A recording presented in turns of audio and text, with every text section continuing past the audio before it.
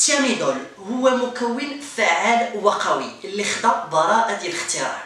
والهدف ديالو هو علاج السبب الرئيسي في ظهور كل أنواع التصبغات الجلدية عبر تقليل إنتاج الميلانين في البشره وهذا الشيء تثبتته البحوث آه، المتعددة والتجارب اللي دامت سنوات ولقاو أنه كيقلل من ظهور التصبغات الجلدية.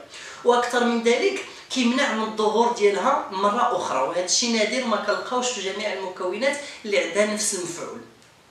والحاجة اللي فيه زوينة أنه كيعطي واحد النتيجة اللي هي ملحوظة غير في ظرف أسبوعين بعد الاستعمال. وبالطبع ملي كتكون الاستمرارية والانضباط في الاستعمال ديالو راه النتيجة كتحسن.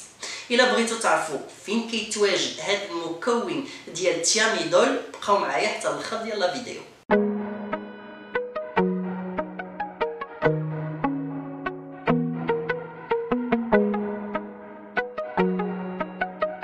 السلام عليكم نتمنى تكونوا بخير وبصحة جيدة. مرحبا بكم في القناة اللي كتشمل عدة مواضيع الصحة العنايه بالبشره وكذا الإسعافات الأولية. إلا كنتو جداد في القناة فضلا وليس امرا باش القناة تستمر كنحتاج الدعم ديالكم والإشتراك في القناة.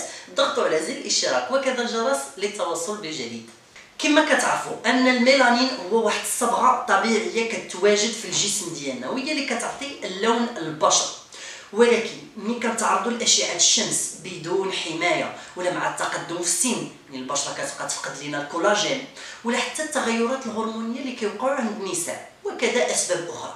هاد العوامل كاملين كيديو ظهور التصبغات الجلدية اللي كيكونوا مختلفة ومتنوعة. تقدر تكون غير سطحية يعني قاص لينا غير l'épiderme تقدر تكون وصلت لينا le derme اللي هي الطبقة الثانية وتقدر توصل حتى الطبقة الثالثه اللي هي l'hypoderme أغلبية الأحيان كتكون بسبب الحروق في هذه الحالة. وكيخليو البشرة غير متساوية اللون وكتفقد النضارة والشبابية ديالها. أما بالنسبة للعلاجات المتوفرة للتصبغات الجلديه فهي متعددة ومختلفة. ولكن راجع بالطبع للتشخيص الطبي اللي غادي تقوم به والاقتراح اللي غادي يقولوا لكم الطبيب المختص اللي يقدر يكون جلسات ديال ال laser fractionné CO2 اللي هو واحد التقشير باللازير وكيقوم بإزالة الطبقة السطحية الميتة للبشرة.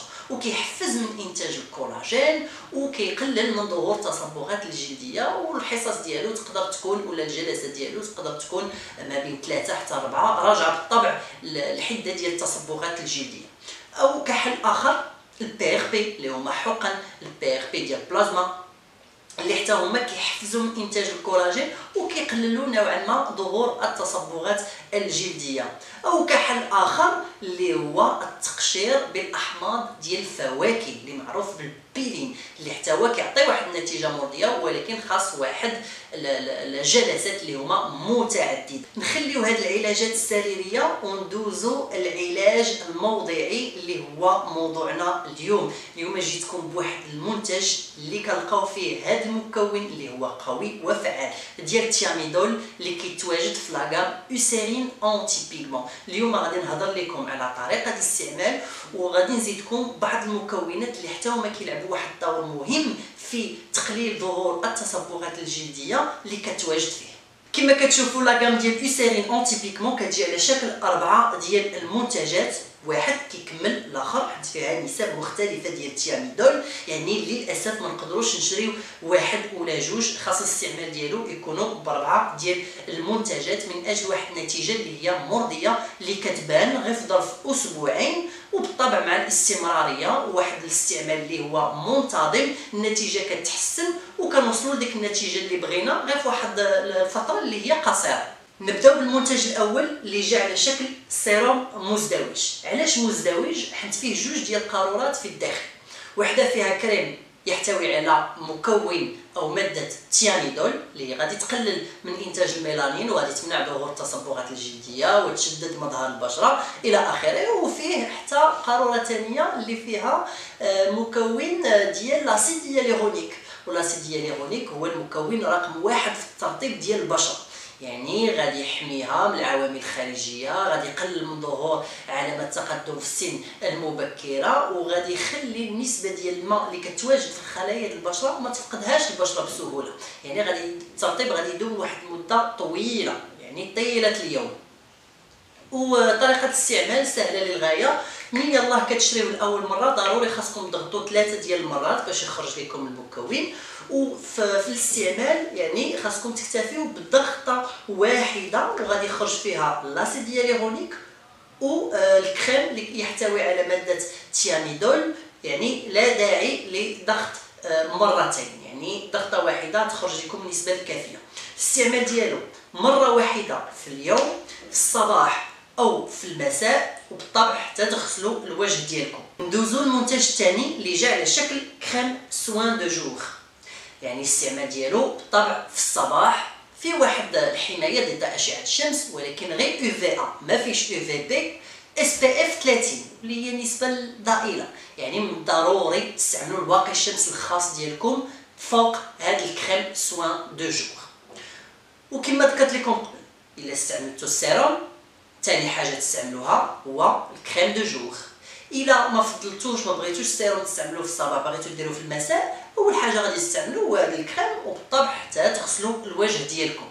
هذا فيه مادة ديال التياميدول هادو كاملين فيهم مادة ديال التياميدول هذا غادي يخدم على البشرة طيلة اليوم باش يقلل من إنتاج الميلانين ويحسن من ويخفف من ظهور تصبغات الجلدية. شيء آخر أنه سريع امتصاص.